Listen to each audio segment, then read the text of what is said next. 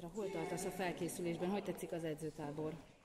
Az edzőtábor igazából tetszik, minden kemények az edzések. Hát szerintem egyre jobb formában vagyok. Miért kemény? Mi a kemény benne? Hát igazából az edzések intenzitása, az erőléti feladatok, az edzésprogram. Neked mi az, amire még készülnöd kell, mire kell felkészülnöd versenyekben, és magadban mit kell még, magadból mit kell még kihoznod? Szeptemberben lesz a junior világbajnokság. Hát nagyon szerintem technika csiszolás, meg az erekendő még valamit fejleszteni. Melyik az a része a technikáknak, ami mondjuk neked úgy érzed, hogy még csiszolásra szól? Hát igazából csak úgy, az összes. Köszönjük szépen!